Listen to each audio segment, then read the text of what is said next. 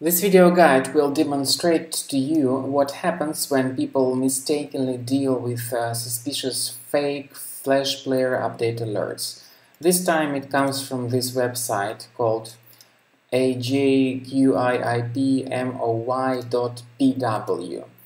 Obviously the name of this website does not make any sense and Additionally, this resource is extremely malicious. It tries to force you into downloading and installing a lot of potentially unwanted programs. For instance, browser hijackers, adware type apps, and other junk uh, software. When people uh, think that this is a decent uh, software update alert, they are obviously on the wrong track. So some of them have regretfully clicked on the install button and this uh, automatically uh, downloaded some flash player and when uh, people actually proceed and agree with uh, installing this so-called Adobe Flash Player they actually end up installing a lot of other potentially unwanted programs. So when they continue and proceed they might be told to uh, install some decent programs too but in reality uh, a lot of other browser hijacking apps or potentially unwanted programs may be also installed.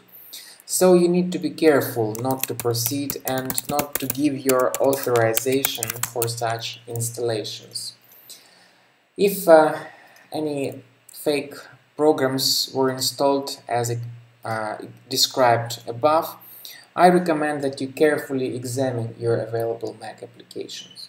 So look for suspicious software in this list. If you find some programs you don't remember installing, right-click on them and move them to the trash straight away.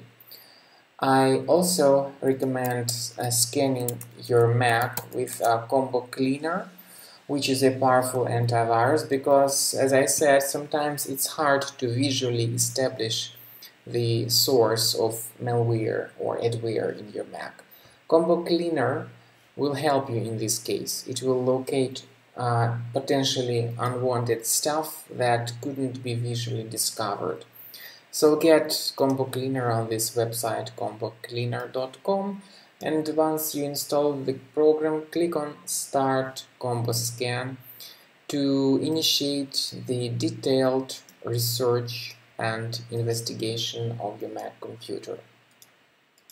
So this is the end of scanning by Combo Cleaner antivirus and in order to review the results uh, go to the antivirus section and click on this uh, direct button called review results.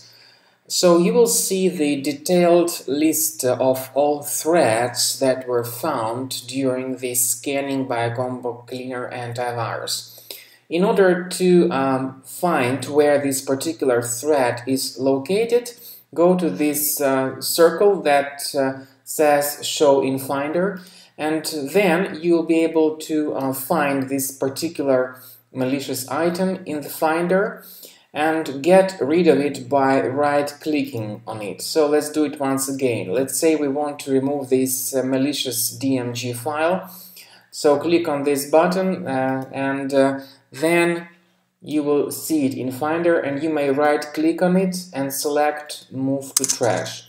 So this is the manual way to get rid of malware from your Mac for free.